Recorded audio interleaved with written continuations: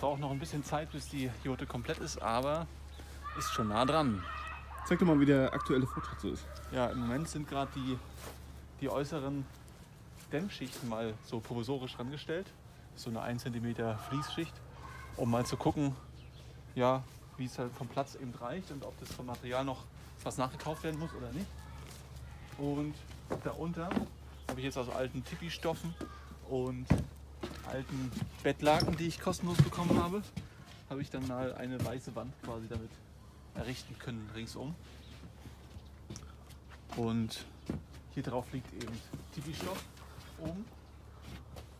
Und mal testweise habe ich dann hier eine Wolldecke draufgelegt, die später aber nicht so durchhängen wird wie jetzt, weil sie ja über den anderen Schichten dann als Dämmschicht dann eben fungieren soll. Und dann funktioniert das auch wieder. Ja. Fußboden ist auch noch nicht komplett fertig. Hier kommen noch Dielen drauf und eventuell auch noch Dämmung.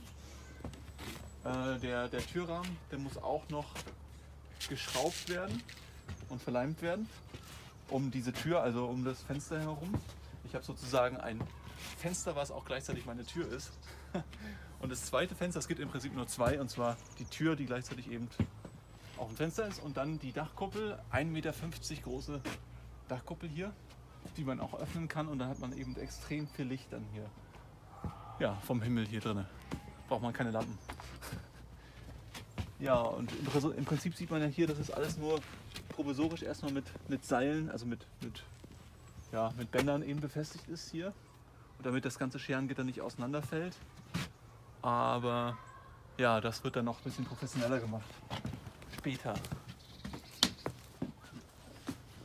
Ja, und ganz am Schluss, genau, wenn, wenn die Dämmschichten, die Decken, der Baumwollstoff drauf ist, dann kommt Teichfolie übers Dach, um das Ganze eben dann wasserdicht zu machen. Die liegt auch schon hier, das ist schöne olivfarbene Teichfolie, 1 mm dick und die hält das hervorragend das Wasser ab.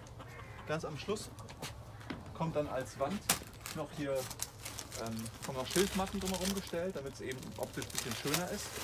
Und für Strom in der Jote gibt es dann eben äh, Solarplatten und ein Windrad. So ist der Plan.